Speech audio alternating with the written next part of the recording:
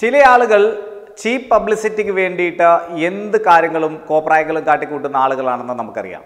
നമുക്കറിയാം കൂടെ നിന്നിട്ട് കാലിൽ ചവിട്ടുന്നത് അല്ലെങ്കിൽ കൂടെ നിന്നിട്ട് കുതുകാൽ വെട്ടുന്നതൊക്കെ ഇപ്പോൾ സർവസാധാരണമായിരിക്കുകയാണ്. അത്തരത്തിൽ നമ്മൾ ഒരു കൂടെ ആളുകൾ ആരെയെങ്കിലും നിർത്തുന്നുണ്ടെങ്കിൽ കൃത്യമായും അവരുടെ മാനസികപരമായിട്ടുള്ള നിലവാരം അല്ലെങ്കിൽ അവർ ഇന്നല്ലെങ്കിൽ നാളെ ഇതിലും വലിയ ഒരു മീൻതല കിട്ടിയാൽ അപ്പുറത്തേക്ക് പോകാനുള്ള സാധ്യതയുണ്ട് എന്ന് കൂടി കരുതിക്കൂട്ടി വേണം നമ്മൾ ഓരോ കാര്യത്തിലും ചില ആളുകളെ ഒപ്പം നിർത്താൻ. നമ്മൾ ആ ഒരു കാര്യത്തിലൊക്കെ നമ്മൾ ചാണക്യ തന്ത്രമൊക്കെ അവലംബിക്കുന്നത് നന്നായിരിക്കുമെന്നാണ് ഹിന്ദു ധർമ്മ വിശ്വാസികളോട് ഞങ്ങൾക്ക് പറയാനുള്ളത്. കാരണം നമ്മളോടൊപ്പം നിന്ന് നമ്മളിൽ ഒരുവരാണ് എന്ന് സമൂഹത്തെ തെറ്റിദ്ധരിപ്പിച്ചുകൊണ്ട് തരം കിട്ടുമ്പോൾ നമ്മളെ തന്നെ കടിക്കാൻ വെമ്പുന്ന ചില ആളുകളുണ്ട് ചില നികൃഷ്ട ജീവികളുണ്ട് ഇന്ന് മലയാളത്തിൽ. അതിലെ പ്രധാനപ്പെട്ട ഒന്ന് രണ്ട് വ്യക്തിത്വങ്ങളാണ്. ഒന്ന് രാഹുൽ ഈശ്വർ.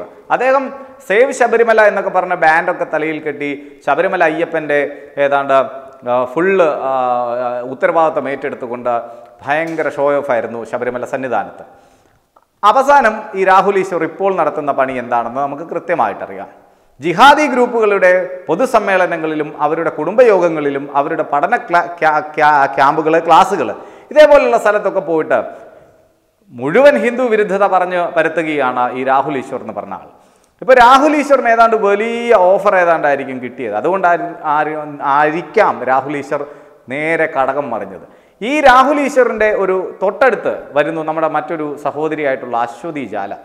ഇത്രയും നാളും അശ്വതി ജ്വാല ഏതാണ്ട് വലിയ ഹിന്ദുത്വവാദിയാണ്. അശ്വതി ജ്വാല സോഷ്യൽ മീഡിയയിലൂടെ ഹിന്ദുക്കളെ അങ്ങ് തള്ളിമറിച്ചിട്ട് ഹിന്ദുക്കളുടെ വികാരപരമായിട്ടുള്ള പല കാര്യങ്ങളിലും കയറി പ്രതികരിക്കുന്ന ഒരാളായിട്ട് അല്ലെങ്കിൽ അശ്വതി ജ്വാലയെ കുറേ നാളുകൾ വരെ സൈബർ ഇടങ്ങളിൽ സംഘി സൈബർ സംഘി എന്ന രീതിയിൽ ഈ സുഡാപ്പികളും കമ്മികളും എല്ലാം തന്നെ വിശേഷിപ്പിച്ചുകൊണ്ടിരുന്ന അശ്വതി ജ്വാല പെട്ടെന്ന് ഒരു സുപ്രഭാതത്തിൽ ഒരു മറുകണ്ഠം അങ്ങ് ചാടിയിരിക്കുകയാണ്. ഡൊണാൾഡ് ട്രംപ് ഇന്ത്യയിലേക്ക് വരുന്നതിൽ അസഹിഷ്ണുത പൂണ്ടു നിൽക്കുന്ന ഇവിടുത്തെ കൊങ്ങി കമ്മി സുഡാപ്പി ടീമുകൾക്ക് കൂട്ടായിട്ടാണ് ഇപ്പോൾ അശ്വതി ജാൽ ജ്വാല എത്തിയിരിക്കുന്നത് എന്നാണ് നമുക്ക് മനസ്സിലാക്കേണ്ടത്. ഇവർ ഇവിടുന്ന് നൈസായിട്ട് അഹമ്മദാബാദിൽ പോയി അവിടെ ചേരിയുടെ സൈഡിലെല്ലാം മതിൽ കെട്ടി മറക്കുന്നു എന്ന വലിയൊരു ആരോപണങ്ങൾ കുറേ നാളുകളായി നമ്മുടെ മലയാള മാധ്യമങ്ങൾ അതേപോലെ തന്നെ നമ്മുടെ സോഷ്യൽ മീഡിയ ഇതൊക്കെ വലിയ സജീവമായിട്ട് ചർച്ച ചെയ്യുന്നു. യാഥാർത്ഥ്യം എന്തുവാണെന്ന് നമുക്ക് കൃത്യമായിട്ടറിയാം. സ്വാഭാവികമായും അത്തരത്തിൽ ആ യാഥാർത്ഥ്യത്തെ അശ്വതി ജ്വാലയെ പോലെ ഒരു ഫിഗറിനെ കൊണ്ട് ഒന്ന് പൊളിച്ചടുക്കിയാൽ സ്വാഭാവികമായും കിട്ടുന്ന മൈലേജ് ഭയങ്കരമായിരിക്കുമെന്ന് ഏവർക്കും അറിയാം അതാണ് ഇപ്പോൾ കമ്മി സുഡാപ്പി സൈബറിസ്റ്റുകൾ ചെയ്തുകൊണ്ടിരിക്കുന്നത്. അശ്വതി ജ്വാലയിലേക്ക് തിരികെ വരാം.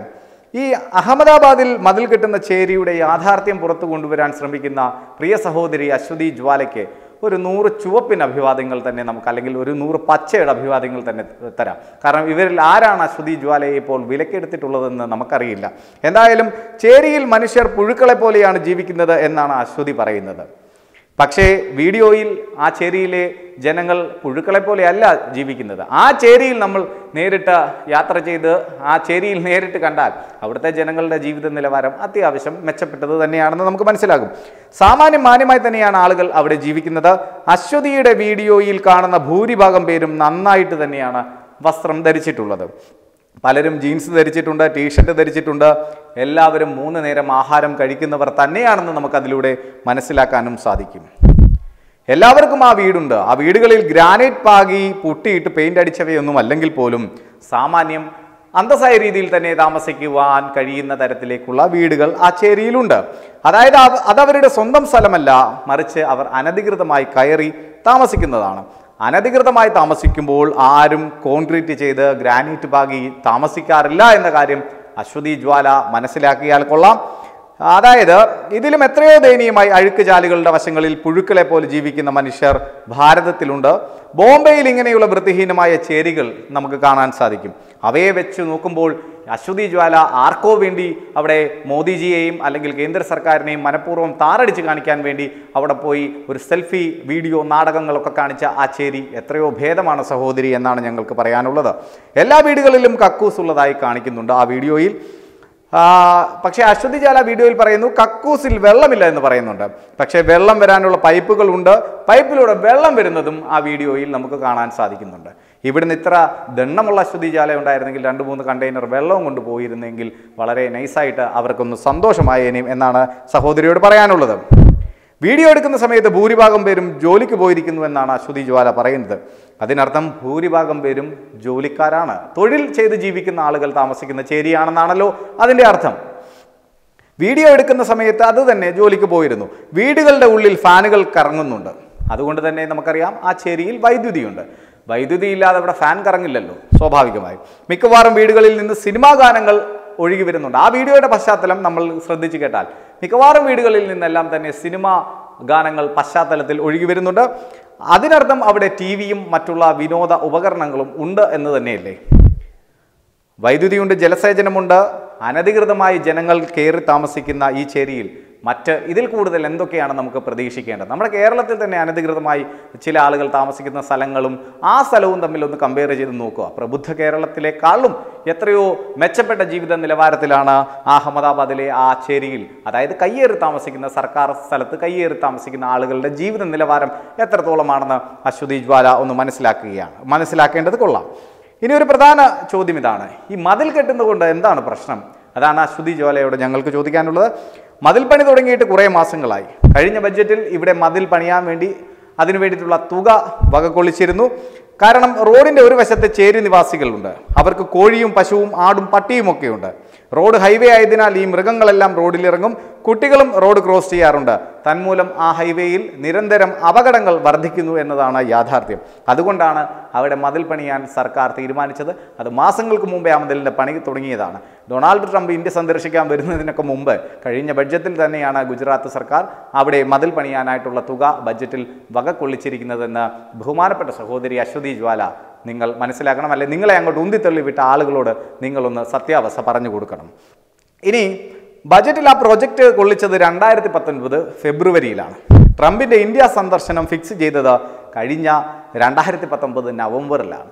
കാരണം നവംബറിൽ ട്രംപ് വരുന്നു എന്ന് തീരുമാനിച്ചു. പക്ഷേ രണ്ടായിരത്തി പത്തൊമ്പത് ഫെബ്രുവരിയിൽ തന്നെ അവിടെ മതിൽ കെട്ടാനുള്ള പണം വകയിരുത്തിയിരുന്നു എന്ന് മണ്ടൻ കമ്മികളും സുഡാപ്പികളും ഒക്കെ മനസ്സിലാക്കേണ്ടതുണ്ട്. അല്ലാതെ മോദി ട്രംപ് വരുന്നത് കൊണ്ട് ചേരിയില്ല അങ്ങ് മറച്ചു കളയാം.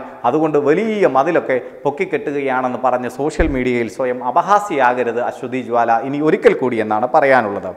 ഇനി ട്രംപ് വരുന്നത് കൊണ്ടാണ് മതിൽ കെട്ടുന്നത് എന്നങ്ങ് വിചാരിക്കുക. അതിലെന്താണ് തെറ്റ്? നമ്മുടെ വീട്ടിൽ അതിഥികൾ വരുമ്പോൾ നമ്മുടെ വീടിന്റെ ഒരു ഏതെങ്കിലും ഒരു ഭാഗം വൃത്തികേടായി കിടക്കുകയാണെങ്കിൽ നമ്മൾ അതിനെ സ്വാഭാവികമായും മറച്ചു വെക്കാറില്ലേ? അശ്വതി ജാലയുടെയൊക്കെ വീട്ടിൽ ആരെങ്കിലും ഒരു വിശിഷ്ട അതിഥികൾ അല്ലെങ്കിൽ ഒരു ഗസ്റ്റ് വരികയാണ്. അശ്വതി ജാലയുടെ വീട് അടുക്കി പെറുക്കാതെ മുഴുവനും നാകണ്ട കഞ്ഞി പോലെ ഇട്ടിരിക്കുമോ? അതൊക്കെയാണ് അശ്വതി ജ്വാല ഒന്ന് പറഞ്ഞ് മനസ്സിലാക്കേണ്ടത്. വൃത്തികേടിന്റെ ശാശ്വത പരിഹാരം കാണണം എന്നത് വേറെ വിഷയമാണ്. അതൊക്കെ ഒരു സംശയവും വേണ്ട. ചേരികളിൽ സ്വാഭാവികമായും മനുഷ്യജന്മങ്ങൾക്ക് കുറേ കൂടി മെച്ചപ്പെട്ട ആവാസ വ്യവസ്ഥയിലേക്ക് അവരെ മാറ്റി താമസിപ്പിക്കുക അവർക്ക് വേണ്ട നല്ല മെച്ചപ്പെട്ട ഭൗതിക സാഹചര്യങ്ങൾ ഒരുക്കി കൊടുക്കുക അതൊക്കെ ശാശ്വതമായി ചെയ്യേണ്ടതാണ്. അതിലൊന്നും ഒരു തർക്കവും വേണ്ട. പക്ഷേ ശാശ്വത പരിഹാരം ഉണ്ടാക്കുന്നതിന് സമയം എടുക്കുമെന്നുള്ളതിനാൽ അമേരിക്കൻ പ്രസിഡന്റ് പോലെ ഒരു അതിഥി വരുന്നത് വരെ നമ്മൾ വൃത്തികേടിനെ അല്ലെങ്കിൽ അവിടെയുള്ള ചില വൃത്തികേടിനെ ഒന്ന് താൽക്കാലിക മറ മറച്ചു വെക്കും. അത് നാട്ടുനടപ്പ് തന്നെയാണ്. ഭാരതത്തിനെ വൃത്തികേടാക്കി ലോകത്തിന് മുമ്പിൽ പ്രദർശിപ്പിക്കണമെന്ന് ഇതിലൂടെ ആർക്കാണ് വലിയ തോതിൽ. അശ്വതി ജ്വാലയെ ഉന്തിത്തള്ളിവിട്ട ആരാണ്? അശ്വതി ജ്വാലയാണ് അതിൽ പറയേണ്ടത്. ആർക്കാണ് ഇത്ര ഭാരതത്തെ ആ വൃത്തികെട്ട കുറച്ച് ഭാഗങ്ങൾ? കാരണം വൃത്തികേട്. കാരണം മലീമ മലിനമായി കിടക്കുന്ന കുറച്ച് പ്രദേശങ്ങൾ. സ്വാഭാവികമായും അമേരിക്കൻ പ്രസിഡന്റൊക്കെ വരുമ്പോൾ അന്തർദേശീയ മാധ്യമങ്ങളൊക്കെ ഉണ്ടാകും അന്താരാഷ്ട്ര മാധ്യമങ്ങളൊക്കെ ഉണ്ടാകും ഇവരുടെ ക്യാമറ കണ്ണിൽ ഇത്തരത്തിലുള്ള ഒരു ചെറിയ വൃത്തികേടുകൾ പതിയണം. ഇന്ത്യ അതുവഴി താറഴിച്ച് കാണിക്കണമെന്ന് ആർക്കാണ് ഇത്ര നിർബന്ധമുള്ളത്? ഇന്ന് ലോകത്തിന് മുമ്പിൽ ഭാരതത്തെ ശ്രേഷ്ഠമായി കാണിക്കുവാൻ വേണ്ടി ഒരു പ്രതിജ്ഞാബദ്ധ ബദ്ധനായി പണിയെടുക്കുന്ന ഒരു പ്രധാനമന്ത്രിയുടെ നാടാണിത്. അതുകൊണ്ട് തന്നെ സ്വാഭാവികമായും അത്തരത്തിലുള്ള ചെറിയ പിപ്പിടി ആരോപണങ്ങളൊക്കെ ഞങ്ങളങ്ങ് സഹിച്ചു എന്ന് തന്നെ പറയാം. ഇനി മറ്റൊരു കാര്യം. ദാരിദ്ര്യ നിർമ്മാർജനത്തിൽ മറ്റാരെക്കാളും നല്ല പ്രവർത്തനം നടത്തിയിട്ടുള്ളത് മോദി സർക്കാരാണ് ശ്രീമതി അശ്വതി ജ്വാലെ. നമ്മൾ മനസ്സിലാക്കണം. അതായത് സ്വച്ഛ് ഭാരത് അഭിയാനിൽ അതിന്റെ ഒരു കണക്ക് ഞാൻ പറയാം രണ്ടായിരത്തി പതിനാലിൽ മുപ്പത്തിയെട്ട് ശതമാനമായിരുന്നു ഇന്ത്യയിലെ കക്കൂസുകളുടെ എണ്ണം. രണ്ടായിരത്തി പതിനെട്ടായപ്പോൾ ഇത് തൊണ്ണൂറ്റിയെട്ട് ദശാംശം ഒൻപത് ശതമാനമായി. ഒൻപത് ദശാംശം രണ്ട് മൂന്ന് കോടി ശൗചാലയങ്ങളാണ് പാവപ്പെട്ട ഗ്രാമീണർക്ക് മോദി സർക്കാർ നിർമ്മിച്ചു നൽകിയത്. രണ്ടായിരത്തി പതിനാല് മുതൽ രണ്ടായിരത്തി പതിനെട്ട് വരെ ഗ്യാസ് കണക്ഷൻ കിട്ടിയ വീടുകളുടെ എണ്ണം പന്ത്രണ്ട് കോടിയാണ് അശ്വതി ജ്വാല. പതിനെണ്ണായിരം ഗ്രാമങ്ങളിൽ വൈദ്യുതി എത്തിച്ചു അശ്വതി ജ്വാല. വൈദ്യുതി എത്താത്ത ഒരു ഗ്രാമം പോലും ഇന്ത്യയിലില്ല അശ്വതി ജ്വാല. മനസ്സിലാക്കുക സൗഭാഗ്യ യോജന പ്രകാരം രണ്ട് കോടി അറുപത്തിരണ്ട് ലക്ഷം വീടുകളിൽ വൈദ്യുതി എത്തിച്ചിരിക്കുന്നു. പ്രധാനമന്ത്രി ആവാസ് യോജന പദ്ധതി വഴി ഒന്നര കോടി ആളുകൾക്ക് വീട് വെച്ച് കൊടുത്തിരിക്കുന്നു.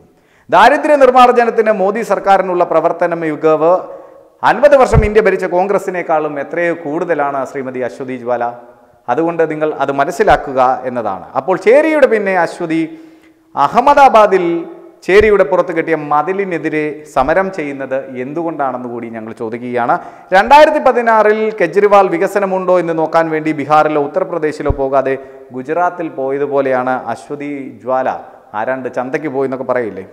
അതുപോലെ തന്നെ പോയിട്ട് വന്നത്. എന്തായാലും അശ്വതിക്ക് ജിഹാദികൾ എന്തോ വലുത് വാഗ്ദാനം ചെയ്തിട്ടുണ്ട്. കേരളത്തിൽ സംഘികളെ താങ്ങി നിന്നിട്ട് ഇനി വലിയ പ്രയോജനമൊന്നുമില്ല എന്ന് അശ്വതിക്ക് തോന്നിക്കാണും.